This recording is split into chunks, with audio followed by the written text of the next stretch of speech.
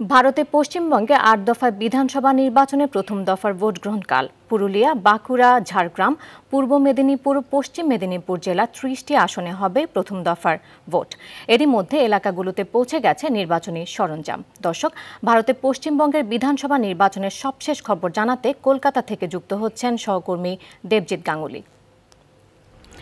দেবজিৎ।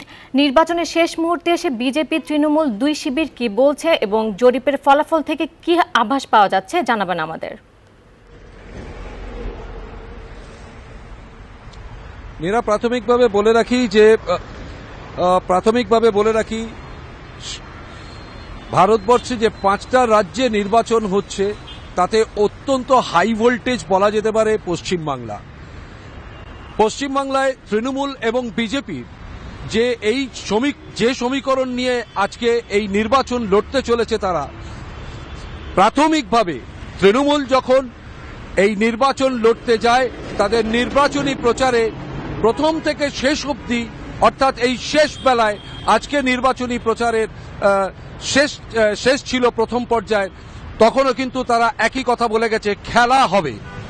উল্টো দিকে বিজেপির তরফে বারবার করে তাকে ধিক্কার দিয়ে তারা বলেছে যে আমরা এই চ্যালেঞ্জটাকে অ্যাকসেপ্ট করলাম।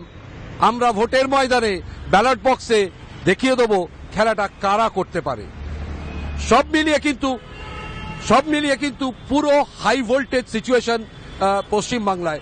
আগামীকাল যে পাঁচটা জেলা ধরে তিরিশটা আসনে যে নির্বাচন হবে, তার ইতিমধ্যেই প্রস্তুতি তৈরি হয়ে গেছে নির্বাচন কমিশনের তরফে। বিচ্ছিন্নভাবে বিভিন্ন জেলার থেকে কিছু ঘটনার আমাদের সামনে আসছে। কিন্তু সেরকম বিশেষ কিছু নয়। আগামীকাল এই নির্বাচনটা কিন্তু আমাদের সময় বলে দেবে যে ঠিক কীরকম তা যাবে। নিরা। দেবজিৎ, আপনাকে অসংখ্য ধন্যবাদ আমাদের সাথে যুক্ত হওয়ার জন্য। দর্শক, কথা বলছিলেন কলকাতা প্রতিনিধি দেবজিৎ গাঙ্গুলি।